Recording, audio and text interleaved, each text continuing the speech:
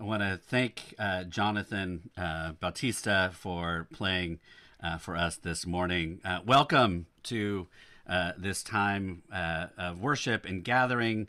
Um, especially if you are Presbyterian, we're glad you are here um, to be with us and a group of moderators, vice moderators, and co moderators, those of us that have had the privilege and the honor of serving you in the moderator's office. We are grateful that you are here with us today. Um, this is a unique gathering. Uh, we're glad you're here from wherever you are. We're thrilled that we could um, use this space and use some technology in a way to be able to gather uh, us together. Um, I do want to thank again uh, moderators, vice moderators, co-moderators for being in the space, and then for uh, staff and leadership from Presby- the Presbyterian Church in Palo Alto from First Pres, where I serve as their pastor, uh, for offering your gifts and time here today. Um, just a few things I want to remind you as you are joining us, if this is the first time with us or um, I can't imagine it's the first time at a webinar, but if it is, um, we did have every intention of having this be a meeting and being able to see faces. And, um, and we had this great kind of liturgy we are going to do. Uh, but um, our service, First Presbyterian Church uh, Palo Alto service last night, got Zoom bombed and we felt like we couldn't take the chance. So last night we pivoted to a webinar, and so it's much more one unidirectional than we would we usually do and would hope to have had today. But it is still uh, a holy space, and so we encourage you to go ahead and put questions in the Q and A. We're we're figuring that part out, but you can see those, and we're gonna we're trying to figure out how to moderate that a little bit. Um, this will still be recorded and posted on YouTube and Instagram TV. So um, just know that uh, we will have this uh, for folks who are not able to be here. Uh, please know that uh, this will be recorded and we'll share that out um, pretty quickly today. Uh, the service is very simple today. You don't need a bulletin. There's nothing that you are going to need. Um, we will guide you through this time, uh, and then the best part about these services is uh, you can sing like no one can hear you because uh, unless you have other people or animals in the space with you, they can't. Uh, and so I find myself actually singing more and louder and more bold uh, during these uh, remote services. So I encourage you to stay. Um, you'll we're not going to be able to hear you anyway, but um, sing like no one can hear you because we can't. Uh, again, feel free to put in the Q and A your prayers, um, any words as the Spirit moves you. We'll use that as kind of our space um, to be able to see what each other are saying. Um, and then we are we have a tech deacon that's trying to monitor um, what's going on, and we're we're figuring out all of that. Again, we pivoted to webinar uh, late last night, so uh, um, grace abounds as we go. We begin, though, uh, as uh, we do here at First Presbyterian Church uh, every Sunday, with uh, just a moment of silence, a moment to um, reflect and to center ourselves. The world is filled with chaos around us. There are moments of beauty, but a whole lot of suffering, whole lot of pain, and we're all holding that probably more than we could have ever imagined before. So uh, we begin with uh, simply a time of silence. We don't play any music behind it. Um, it's for two reasons. One, just to center yourself, to be ready for this space, and to acknowledge that the land that wherever we are, for most of us, this is not land that um, was come by honestly, that this land was taken from our indigenous siblings and the land was dishonored. And so we acknowledge that. Um, there's a number at the bottom of, of this slide that you can text your zip code to. It'll tell you if you don't know um, uh, who's what indigenous people are on that land before. It will tell you that. But I'm going to ring a chime, and then we'll just take two minutes. And two minutes can feel excruciatingly long if you're somebody like me, but it is not that long. And so, I encourage you to listen to your breath, ground yourself, to just center and acknowledge the land that you sit upon now. So let's take two minutes of silence to center ourselves.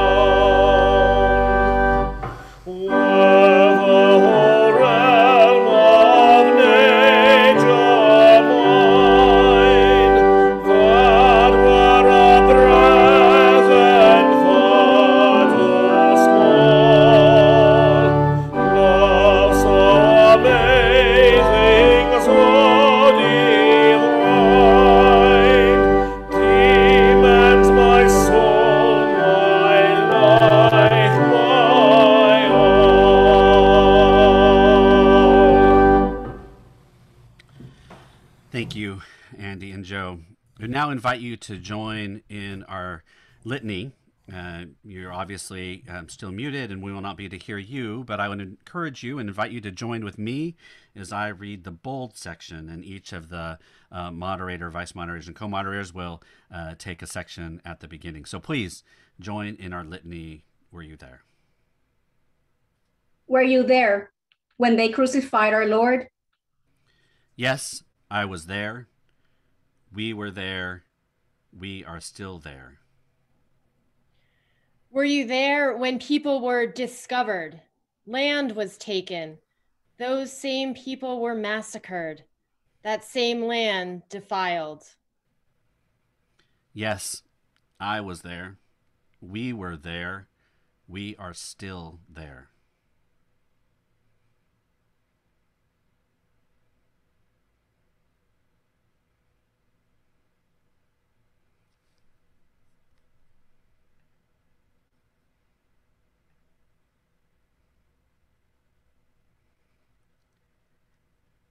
I'd invite you, Brother Fahed. Were, were you there when bodies were stolen, enslaved, dehumanized, and traumatized for generations? Yes, I was there. We were there. We are still there. Were you there when families were torn apart, children kept in cages, and contempt fed to those starving for new life? Yes, I was there. We were there. We are still there. Were you there when our government incited war for political gain or stood idly by in the face of human suffering? Yes, I was there. We were there. We are still there. Were you there? Where gunshots rang out and grief swept over family after family after family, and still we did nothing? Yes, I was there. We were there. We are still there. Were you there when we chose safety, self preservation, and hate over courage, justice, and love? Were you there when they crucified our Lord? Yes, I was there when they crucified the stranger. Yes, we were there when they crucified our neighbor. Yes, we are still here when they crucify our Lord. Amen.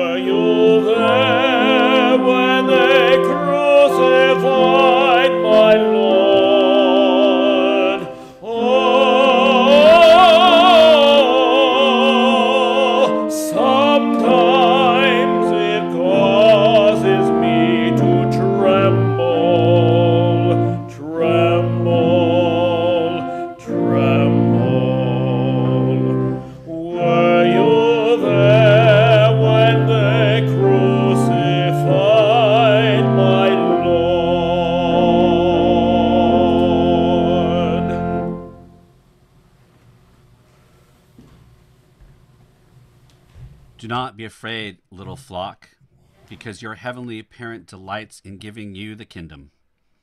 Sell your possessions and give to those in need. Make for yourself wallets that don't wear out, a treasure in heaven that never runs out. No thief comes near there, and no moth destroys. Where your treasure is, there your heart will be too. Southern trees bear a strange fruit, blood on the leaves, blood at the root, black body swinging in the southern breeze. Oh, there's strange fruit hanging from the poplar trees.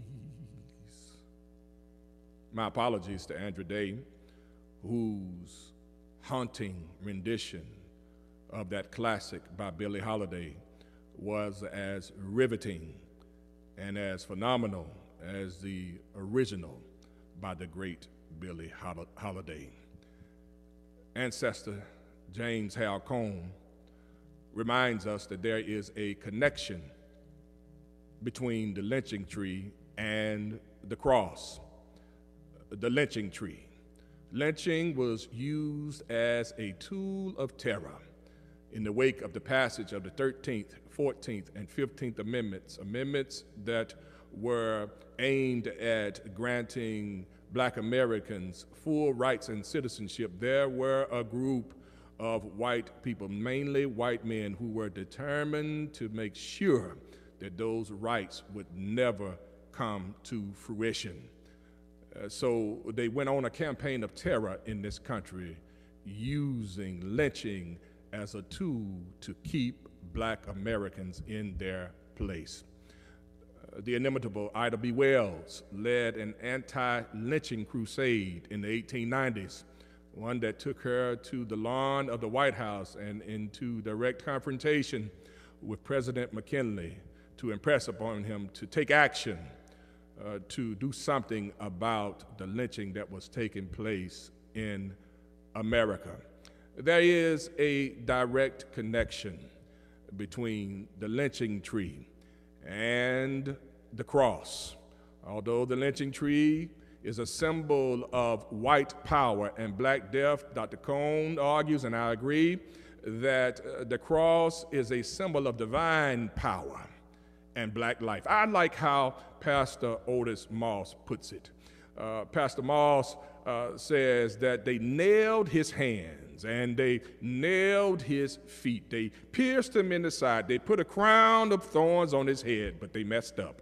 I say again, beloved, they nailed his hands and they nailed his feet. They pierced him in the side and they put a crown of thorns on his head, but they messed up. Why do you say that, preacher? They messed up because they didn't nail his mouth shut. And because Jesus could still speak, speak even while being tortured, even while being persecuted. Jesus kept on preaching while being persecuted and teaching while being tortured. He spoke these powerful words from the cross Father, forgive them, for they know not what they do.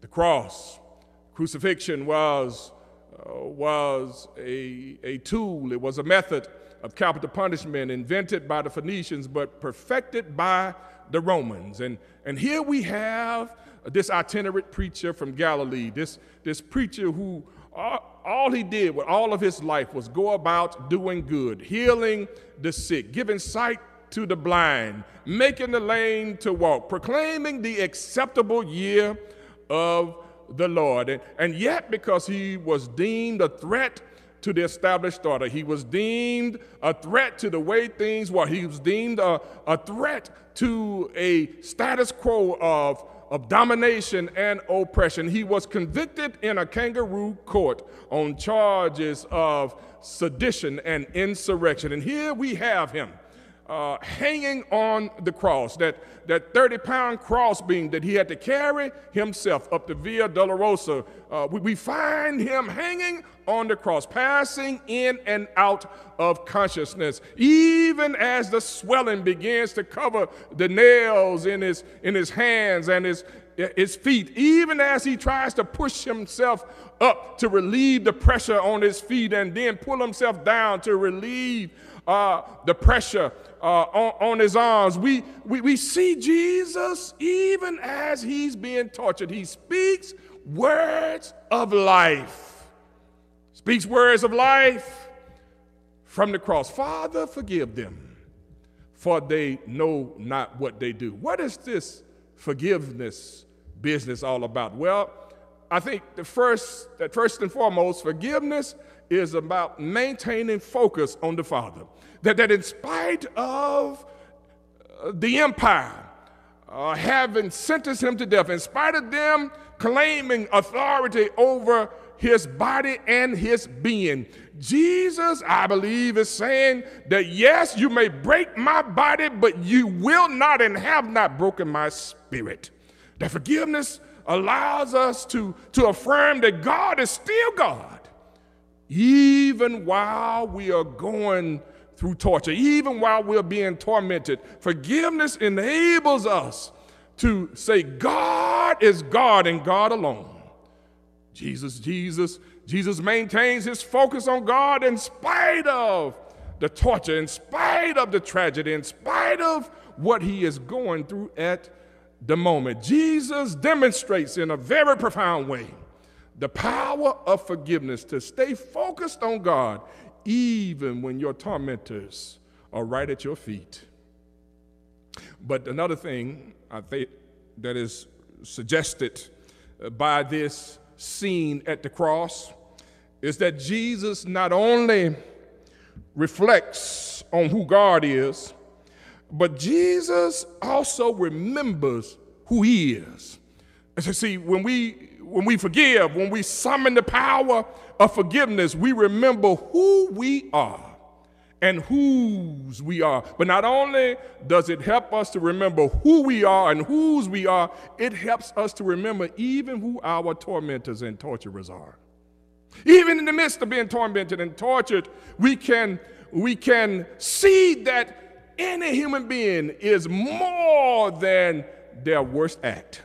Even while they are tormenting and torturing Jesus, Jesus has so much God about him that he can see that they are more than just that. Oh, I tell you, there's power in forgiveness. That, that forgiveness allows us not to freeze people in the moment, but to free them up to new possibilities, even though they are at their worst. Forgiveness calls us to reflect on who God is. For, forgiveness helps us to remember who we are. And lastly, forgiveness helps us to release. To release the pain, to release the anger, to release the resentment. Forgiveness frees us from all that would beset us, from all that would dehumanize us. Forgiveness helps us to move from an I it relationship, as Martin Buber, would remind us, to an I thou relationship. It helps us not to, not to commodify and to objectify our tormentors, even as they have objectified and commodified us. Forgiveness calls forth that old song of the black church Glory, glory, hallelujah. Since I laid my burden down, glory, glory, Hallelujah. Since I laid my burden down, friends don't treat me like they used to. Since I laid my burden down, friends don't treat me like they used to. Since I laid my burden down, and my favorite verse is, I'm going home to live with Jesus. Since I laid my burden down, I'm going home to live with Jesus since I laid my burden down. Father, forgive them, for they know not what they do. Amen.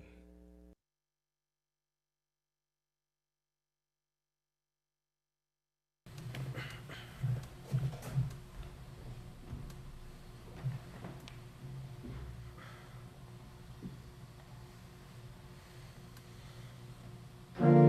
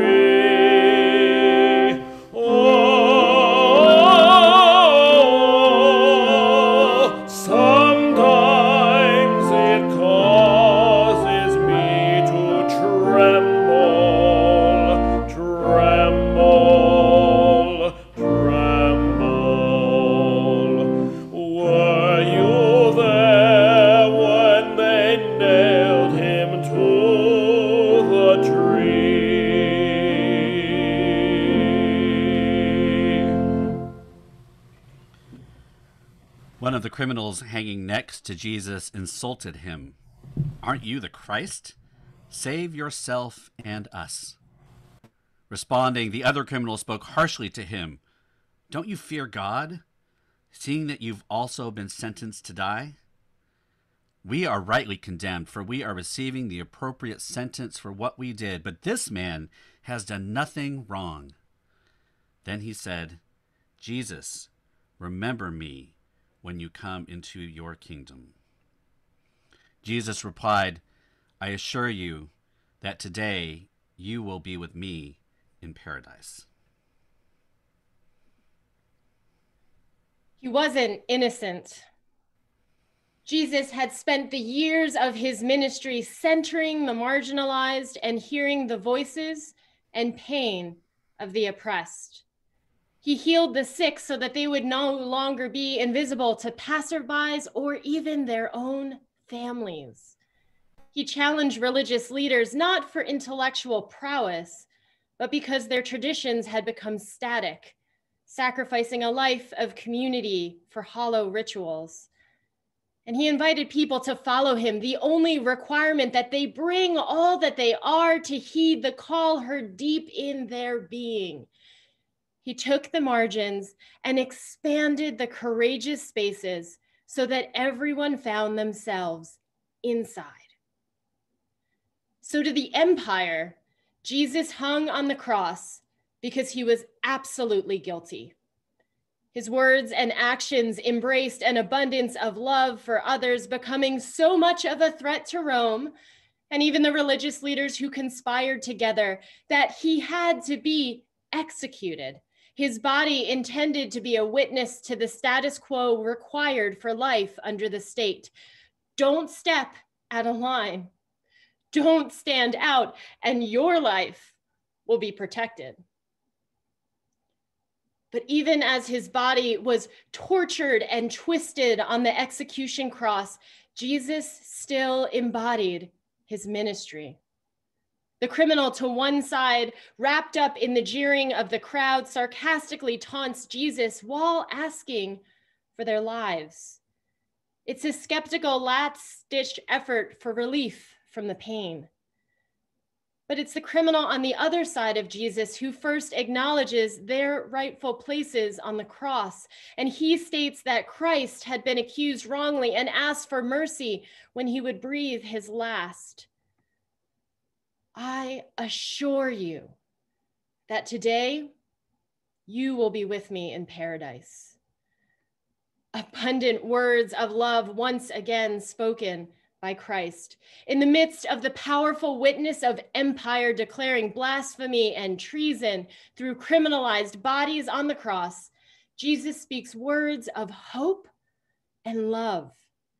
He declares that the pain of the world's justice system would not keep even this convicted man from the joyful freedom of paradise. The distinctions of right and wrong, just and unjust, punishment and righteousness are as upside down today as they were in Jesus's time. We watch the news and see the disproportionate amount of Black and Brown bodies beaten, brutalized, and whispering their own last words while gasping for their final breath. And the justice system grasps onto the pattern, often producing verdicts that feed into the pain and fear of communities of color across the country. This week alone, testimonies in the trial of Derek Chauvin required witnesses to relive the trauma of watching George Floyd's life crushed and their inability to do anything about it. And I think about this as an Asian American woman standing in the shadow of six women murdered in Atlanta that look just like me and the people that I love. A reminder that we are exotified and perpetually foreigners in the place that we call home. In the midst of my sadness, anger, and uncertainty, I've been cracked open to reveal my own story with deep vulnerability so that others hear the pain of the Asian, Asian American, and Pacific Islander community. The system asks far too much of the exact people who are hurt by its brokenness. And this is as much inside of the church as it is outside of its walls. It's often the marginalized, the oppressed, and the vulnerable who must give of themselves, shouting from the streets and rooftops that the community we were meant to be is distorted people of faith need to get, engage in the world in a way that, in spite of the twisted priorities and justifications of the power and principalities, we embody a fuller expression of love. As Christ followers, can we imagine lives that are so radically full of love and compassion that we would risk our own comfort, even our own safety, for a different way forward? Can we fathom choosing over and over and over again the needs of the least of these rather than obediently living under laws and regulations based on prejudices and rooted in power? Can we take up our own crosses, trusting that paradise is promised to those who approach the world with just as much, if not more, concern for others as they have for themselves? I assure you that today you will be with me in paradise. Friends, we need to live as if we know that that is true. It's time to become guilty in the deep yearnings of this world so that we are complicit in the kingdom building that Christ ignited thousands of years ago. May it be so.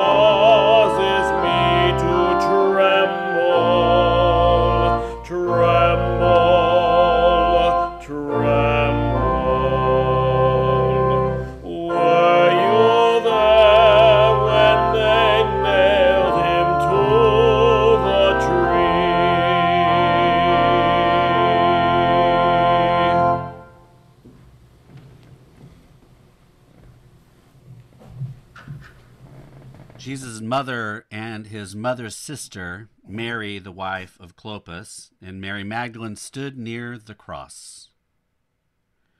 When Jesus saw his mother and the disciple whom he loved standing nearby, he said to his mother, Woman, here is your son. Then he said to the disciple, Here is your mother. And from that time on, this disciple took her into his home let me share with you uh, three lessons. Lesson number one, that we are Easter people. Lesson two, that the crucifixion was the Roman method to kill people. Lesson number three, love one another. Lesson number one, that we are Easter people. Every year we come to Lent, Holy Week, Good Friday and Easter, my childhood memory comes alive. As a Palestinian, Christian Arab child, I always looked for Easter and not for Christmas. This is the time we had new clothes, great food, and great celebration. Later, I discovered that we are really more biblical than our sisters and brothers in the USA and Europe. Why? There is no mention of Christmas in the book of Acts, no mention of Christmas in early uh, church uh, history. The big deal was Easter. To join the church, be baptized. In fact, every Sunday was a celebration of Easter. My question to all of us, can the church reclaim, recapture the power of Easter in the life of the church?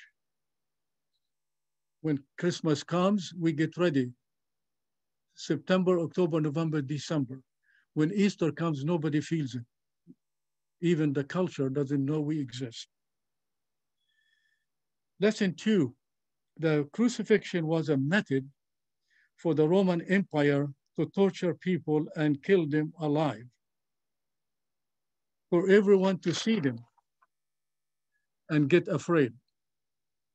During COVID-19, this is the best time to teach our children, our youth, and our members that the early church was a persecuted church. They did their worship in house churches and not in big buildings or cathedrals. Lesson number three, love one another. Jesus said to his mother, woman, this is your son. Then he said to the disciple, this is your mother.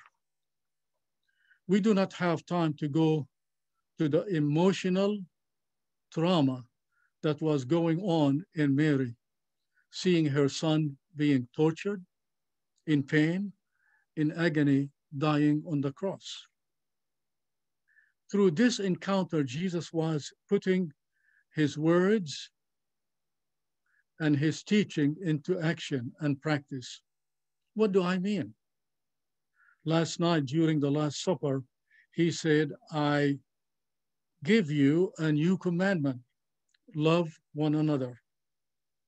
Today, Jesus is establishing a new order, a new covenant, and a new commandment love one another.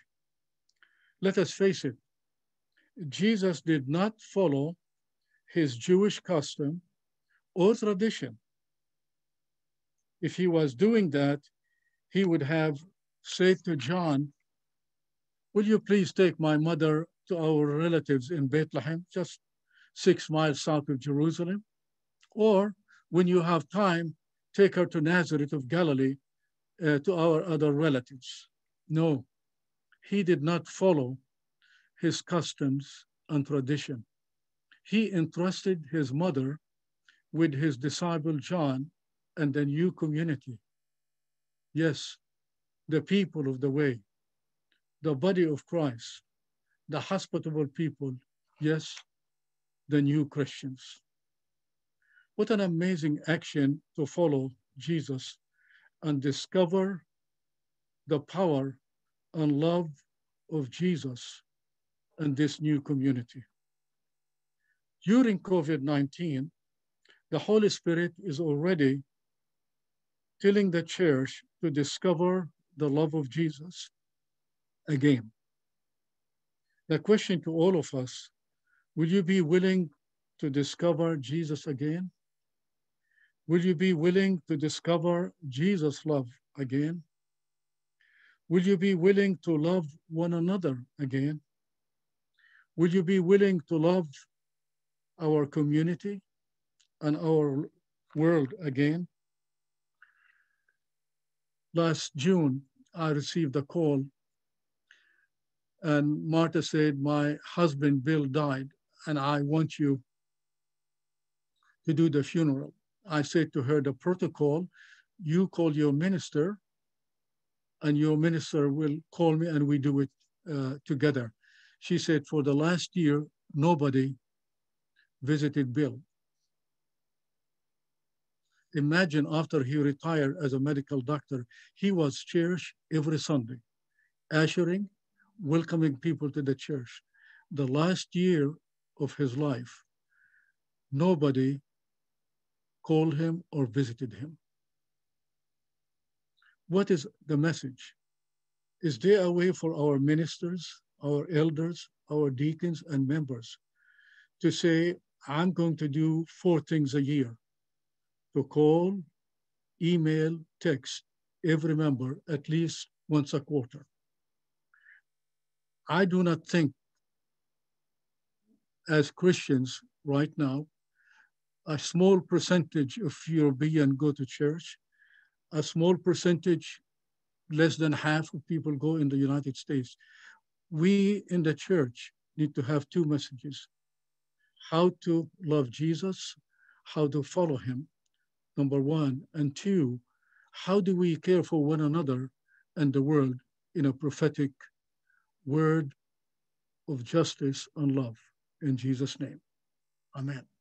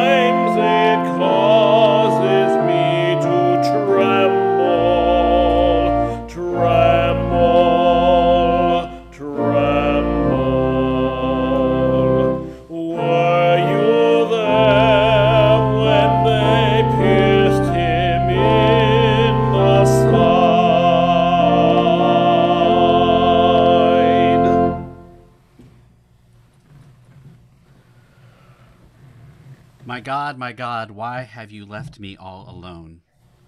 Why are you so far from saving me, so far from my anguished groans? My God, I cry out during the day, but you don't answer. Even at night time, I don't stop. You are the Holy One, enthroned. You are Israel's praise. Our ancestors trusted you. They trusted you and you rescued them. They cried out to you and they were saved. They trusted you and they weren't ashamed. Indeed, all the earth's powerful will worship God. All who are descending to the dust will kneel before God. My being also lives for God. Future descendants will serve God. Generations will come to be told about my God. They will proclaim God's righteousness to those not yet born, telling them what God has done. Dios mío, Dios mío, ¿por qué me has abandonado? ¿Por qué estás tan lejos y no vienes a salvarme? ¿Por qué no atiendes mi clamor? Dios mío, te llamo de día y no me respondes. Te llamo de noche y no hallo reposo. Tú eres santo, tú eres rey, tú eres alabado por Israel. Nuestros padres confiaron en ti, en ti confiaron y tú los libraste. A ti clamaron y fueron librados. En ti confiaron y no quedaron en vergüenza. The words of many psalms have sounded familiar to us in the past year as they reflect an array of emotions that resonate with us these days. Words so human and so true. The Psalms have a way of reflecting back to us what we might be feeling when words escape us. And Psalm 22 is not the exception. Here, the psalmist, in his pain, feeling abandoned, cries to God, My God, my God, why have you left me all alone? Why are you so far from saving me? So far from my anguished groans. Shouting from a place of deep sadness and despair, of raw emotions, this is a place we have experienced many of us as close as this past month, week, or even today. Two things come to mind when reading Psalm 22. First, Jesus utters the words of the first verse while on the cross. Knowing the story of the passion of Jesus, how could he not? How could Jesus not cry out to God? Jesus' cry carries the weight of the sins of the world, including yours and including mine, personified in those who betrayed and condemned him, and those that had followed him but left him all alone in the moment of greatest need. Here we see Jesus fragile, vulnerable before God, shouting from a place of deep sadness and despair, suffering because of us, for us, but also suffering with us. To hear the words that are so human coming from Jesus, for some might be confusing. Jesus is, after all, God incarnate, God's Son, our Savior, our Redeemer, our teacher. Yet, in his humanity, suffering and depleted, Jesus cries out to God, Why have you forsaken me? Second, it is interesting to me that having alternated between cries of despair and remembrance of God's deliverance, the psalm takes a turn in its discourse, that proverbial light at the end of the tunnel moment. Beginning on verse 24, the song shifts from lament to trust to hope to praise. For he did not despise or abhor the affliction of the afflicted. He did not hide his face from me, but heard when I cried to him. Although the psalmist felt abandoned by God, God did not leave him. God indeed heard and delivered him. Now, here's what caught my attention as I read the psalm this time around. It does not say how God delivered him exactly. What is it that God did that inspired words and acts of praise so powerful and heartfelt that all the earth's powerful will worship God and future descendants will proclaim God's righteousness? I don't have the answer per se, but I infer it might have been some kind of miracle, supernatural or otherwise. A miracle in the form of literal salvation from a dangerous situation, or a miracle in the form of an aha moment of illumination, seeing something that wasn't seen before, a blessed coincidence, a random visit or happening that changed perspectives, an unexpected person that came to aid, much like the Samaritan man in Jesus's parable that moved to compassion, became the miracle for the man that was left for dead. And this question, this question, how did God deliver? How did God save? Led me to reflect on the times I have experienced this in myself and have seen it in others. Such salvation, such miracles, especially in this past year.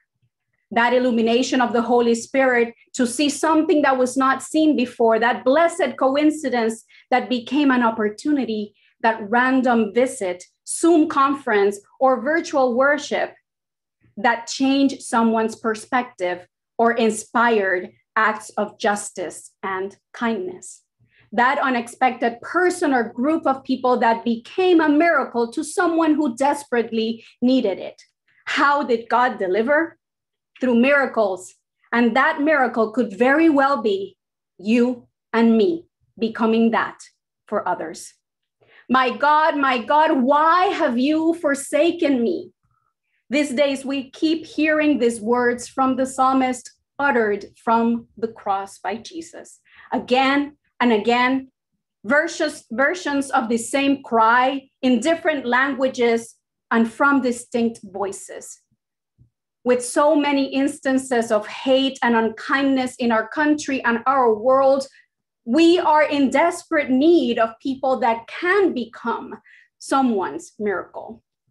Many of us Christians have understood deliverance in the spiritual and personal sense, but we have forgotten its collective and day to day implications that demand response and action from us. Jesus, our Savior, our Redeemer, our teacher, shouting from the cross, beckons us to listen to the cry of our siblings from their places of deep sadness and despair and to respond. Jesus is our miracle. May we be moved by his example of life, love, and ministry to carry our own crosses and follow him. So that when our siblings cry out, My God, my God, why have you forsaken me? In any version, in any language, and in any voice, we may respond with a loud and clear, Heme aquí, I am here. God has not forsaken you. God has sent me. Así nos ayude Dios. Amén.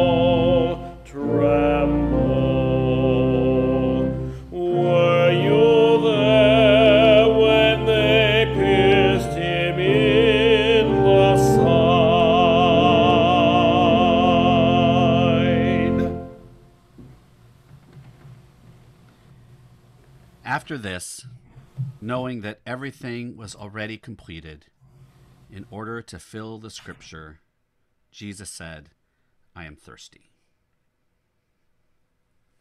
The fifth word in spoken word. I am thirsting. The Greek word is dipso. It's parsed present active indicative first person singular comparative.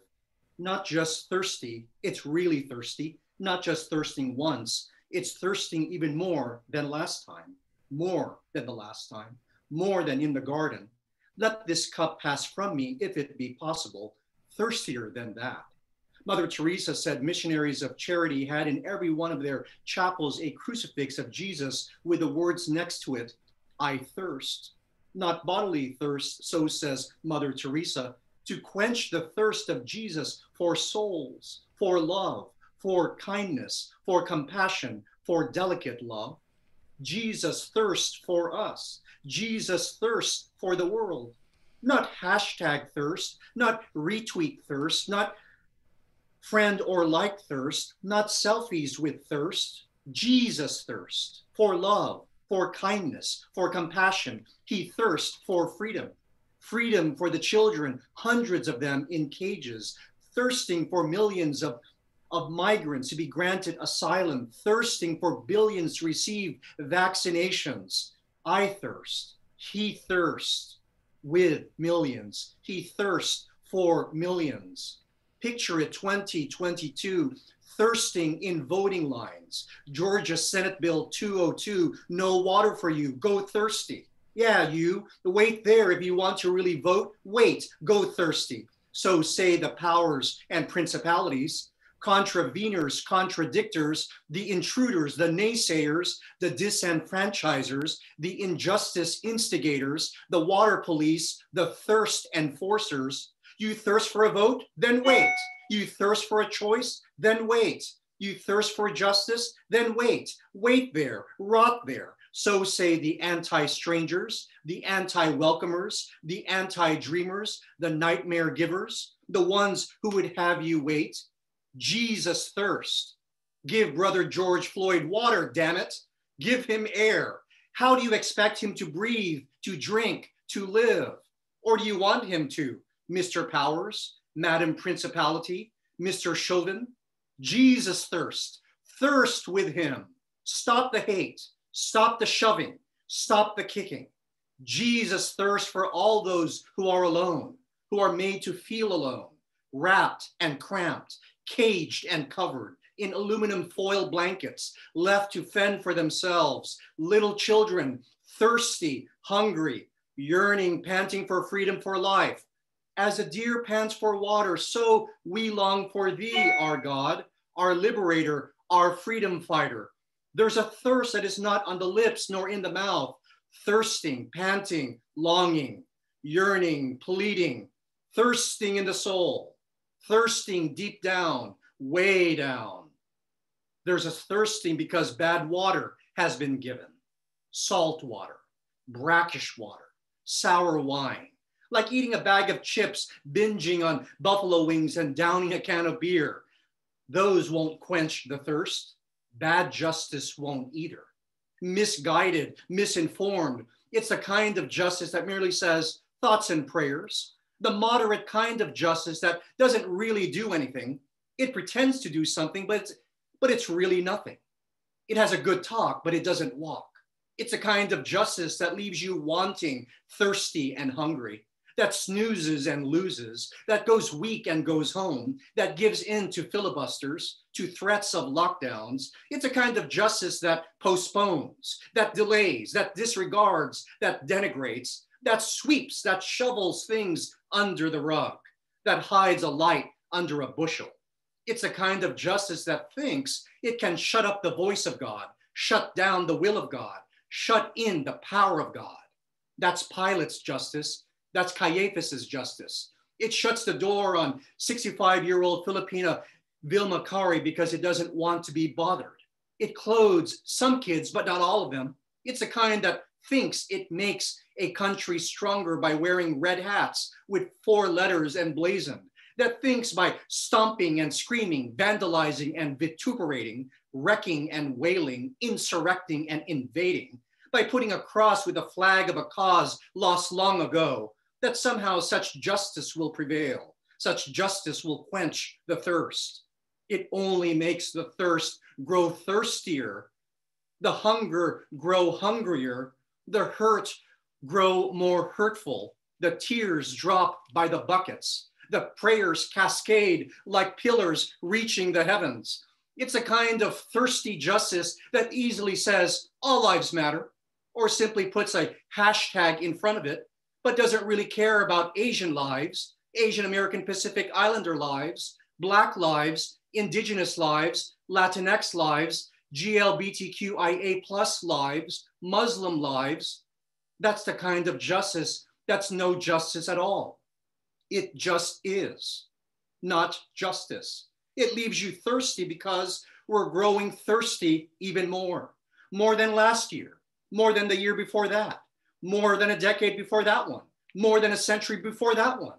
Because all those so called tries, all those so called attempts, all those so called promises, all those so called efforts, all that water was brackish water.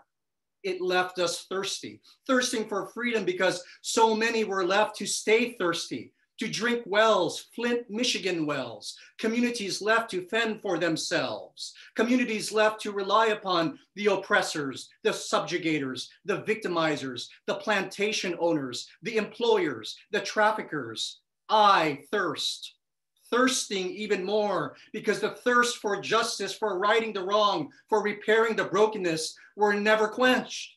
We were given sour wine on a hyssop branch, left forsaken, left forlorn, left forgotten, so that powers, principalities, the Pilates, the pharaohs, the Caesars can enjoy their drink, their drunkenness, their food, their feasts, their foolishness, their profits, their parties, their putridities. Thirst with Jesus. Jesus thirst for us. Jesus thirst for the world. Let us drink from the living waters of the Spirit who gives us life, who breathes life, who awakens our worn and weary bones, our torn and tired souls, and who calls us to thirst no more I am here, he says. I am risen, he says. Come, let us quench the long thirst for justice, he says. I am the neighbor, he says. I am the stranger, he says. I am the least among you, he says. I am with you, he says. I am among you, he says. I am thirsting, he says.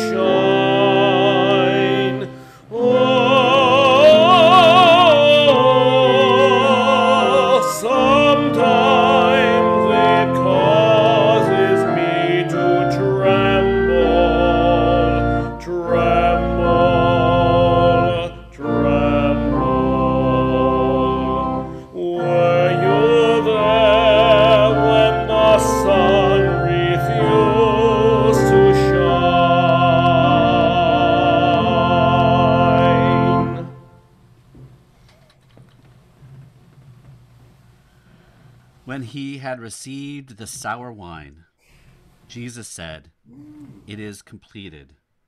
And bowing his head, he gave up his life.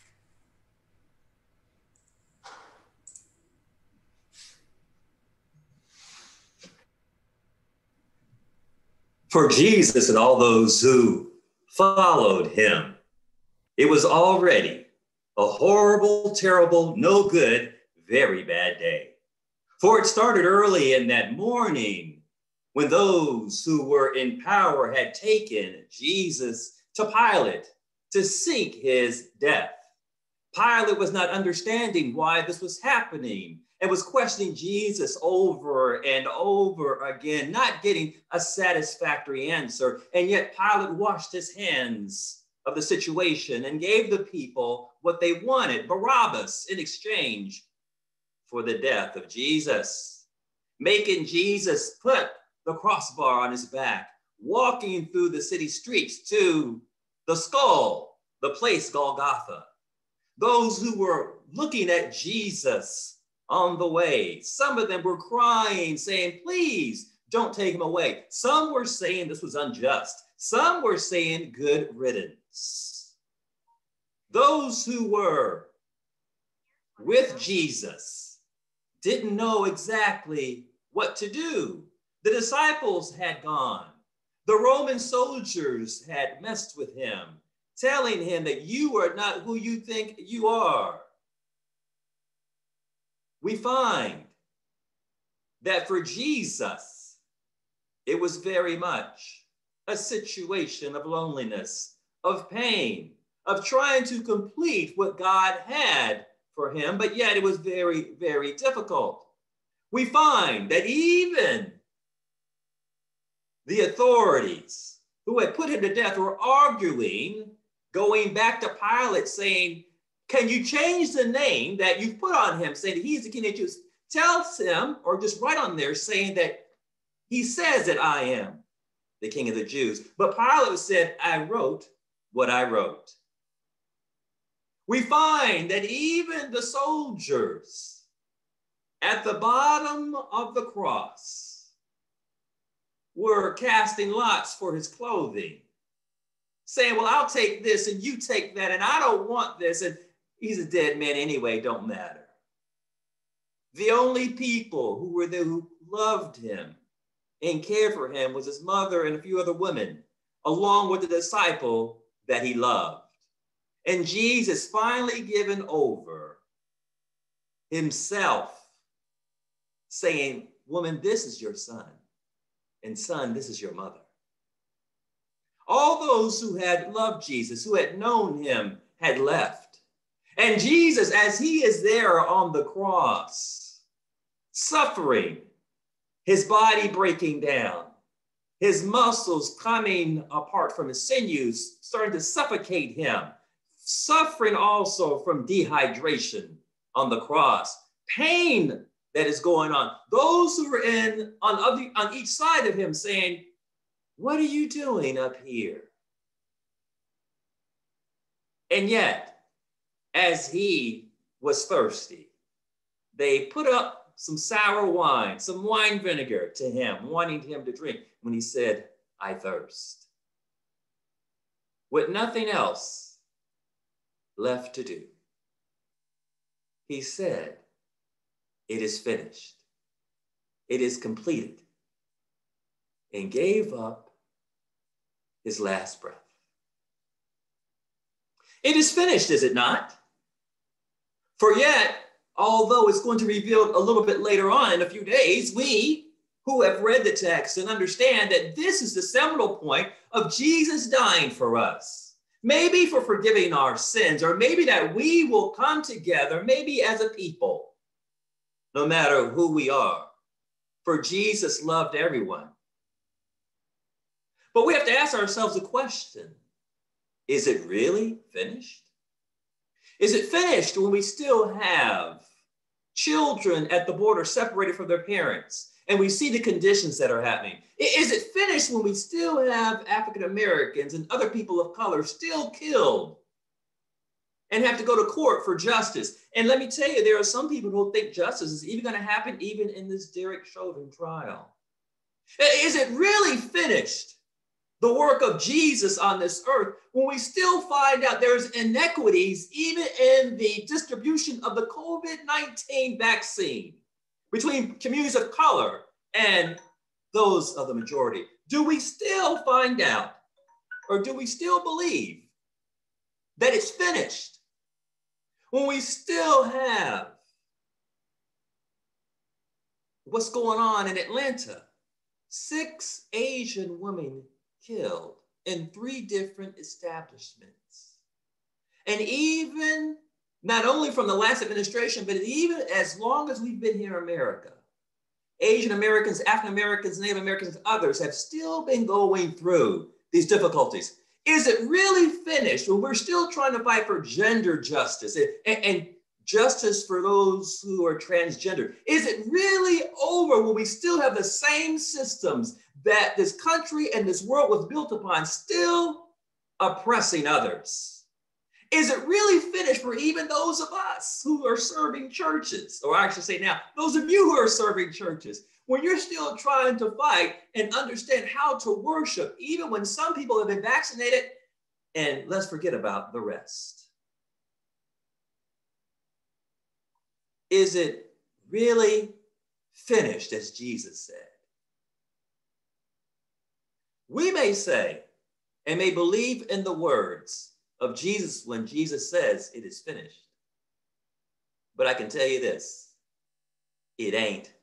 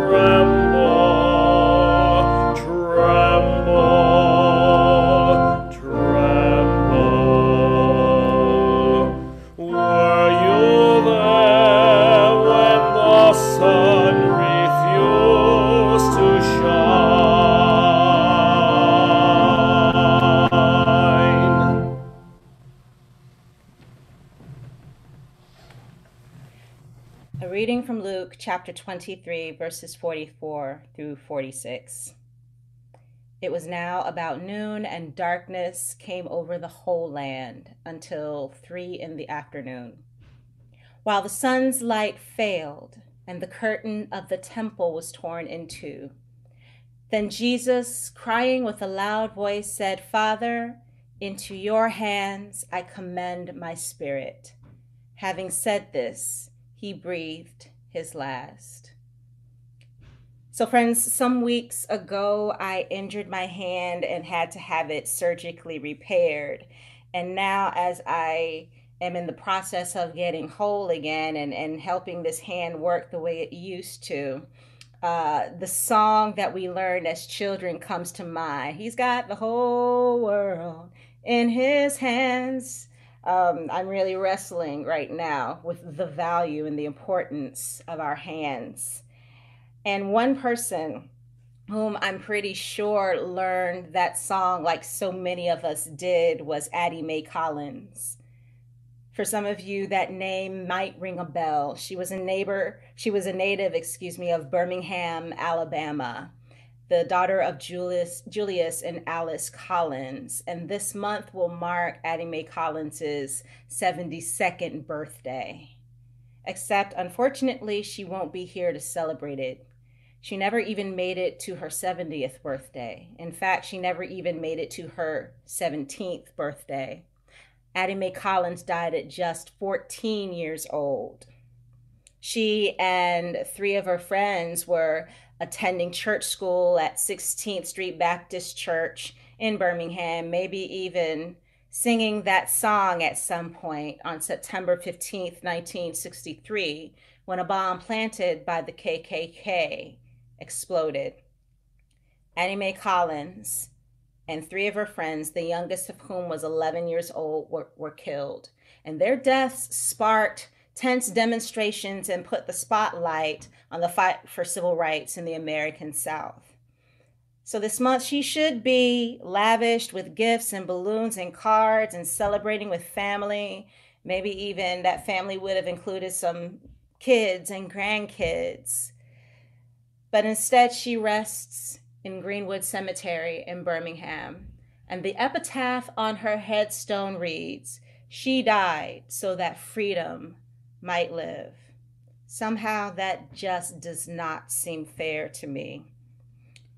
On this Good Friday, there may be some temptation to skip to the rolled away stone and risen Jesus of Easter, especially after the year that we have had. But I implore you, don't do that.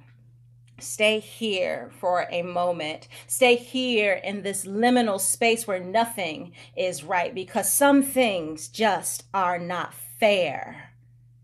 And we don't have to pretend that they are. It's not fair that Addie Mae Collins and her friends didn't get to live to old age. It's not fair that neither did did, did those who died in the uh, shooting at Mother Emanuel. It's not fair that eight people were killed in Georgia recently, six of whom were women of Asian descent in an attack that is clearly a hate crime to everybody except the law. It's not fair that of all our pre COVID realities, back to normal for the United States includes mass shootings that barely make, make a blip on the news cycle. It's not fair. It's not fair that children still languish in, in, in, cages at the border. It's not fair. It's not fair that treaties with indigenous peoples are routinely broken because their lands uh, are rich in resources that we want. It's not fair. It's not fair that evil can keep winning over and over again. There's nothing fair about this day, about Jesus hanging on the cross. His blood should have been enough. There's nothing fair about the conspiracy and the betrayal and state sponsored violence that brought him there. It wasn't fair. But even as he hung there in all that unfairness, blood filling his lungs, he still manages to muster the last bit of agency that he can. He says, Father, into your hands I commend my spirit. And in that moment, he is reclaiming control of the situation. I looked at the text and I looked at the Greek text specifically and what the Greek word for hands is it is in this case and it is the word keras which means so much more than just hands friends. It means agency. It means authority power might. I give my spirit my pneuma my breath over to your power, God, to your might, to your authority. You take control. The same breath that God breathed into his ancestor Adam, that breath that belongs to his father in the first place, he gave it back to him. He didn't give up, he gave it over in that moment, Jesus was saying, I know this is a liminal space and it's not entirely clear how this is going to turn out, but I'm not looking for victory over the moment because I know you, God, have victory over the eternal eternity. So, friends, on this Good Friday, we can take our cues from Jesus in the face of so much injustice, giving what little we have left to God because God's hands God's power are the only ones capable of doing anything with it. So, friends, know that it's not fair. But you know what else? It's also not over. God's got the whole world in God's hands. Amen.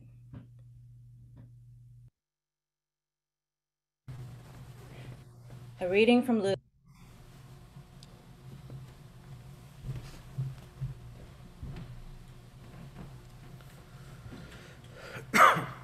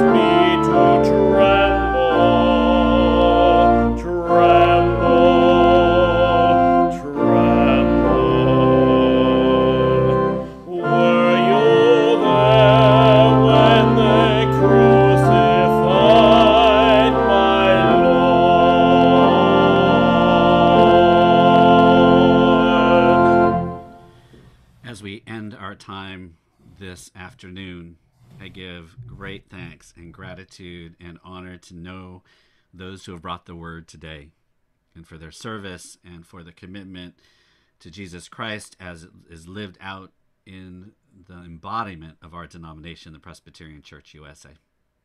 Grateful for you, my friends. I invite you now to simply close your eyes, to sit and be grounded, and I'll ring seven chimes for the seven last words, and then we will leave in peace.